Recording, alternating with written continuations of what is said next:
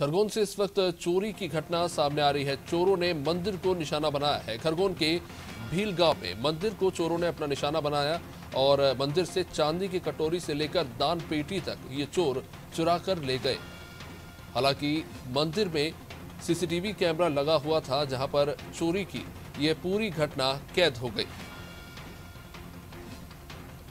हालाँकि इस बीच लोगों ने ही चोरी करने वाले युवक को पकड़कर पुलिस को सौंपा।